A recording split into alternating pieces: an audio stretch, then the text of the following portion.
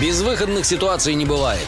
Бывают ситуации, выхода из которых мы не оставляем сами. Минск чрезвычайный. Здравствуйте, в эфире Минское городское управление МЧС, студия Анастасия Гарба. С начала года столичные спасатели потушили более 300 пожаров и загораний, на которых погибли 4 человека. Еще 10 пострадали. Минск чрезвычайный. На минувшей неделе из-за неосторожного обращения с огнем загорелся мусор в подвале пятиэтажки на улице Ангарской. Из подвала работники МЧС спасли 36-летнего жителя. С отравлением продуктами горения, термоингаляционной травмой его госпитализировали. Также из подъезда спасатели эвакуировали еще 9 человек. Никто из них не пострадал. И еще об одном пожаре, но уже из-за нарушения правил эксплуатации электросетей и электрооборудования. В гараже подземного паркинга на проспекте Независимости загорелось зарядное устройство для автомобильного аккумулятора, в результате чего сработала спринклерная система пожаротушения.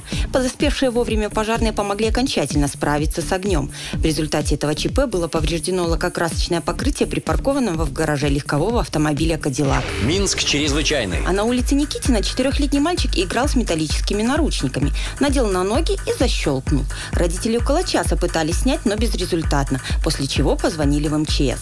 Мальчик спокойно сидел и ждал помощи, правда, увидев спецоборудование, сразу же расплакался. Пугать его никто не хотел, поэтому пожарные аккуратно распилили наручники напильником. После освобождения обрадованный пострадавший сказал, что пойдет работать в МЧС. Крупный пожар произошел вчера в многоэтажке на улице Плеханова. Начался он в полдень в одной из квартир на третьем этаже. Работники МЧС спасли из горящего помещения мать и сына. Их передали врачам скорой. Также из квартир выше эвакуировали 6 человек.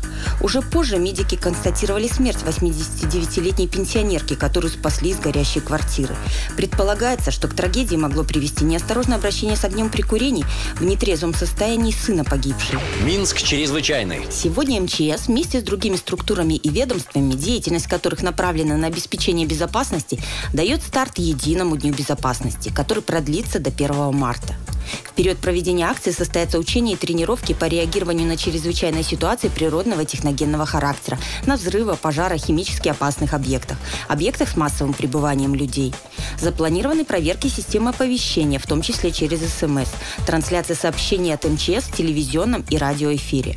А различные учреждения отработают безопасное проведение эвакуации из своих зданий. На этом сегодня все. До встречи через неделю. Безвыходных ситуаций не бывает. Бывают ситуации, выхода из которых мы не оставляем сами. Минск чрезвычайный.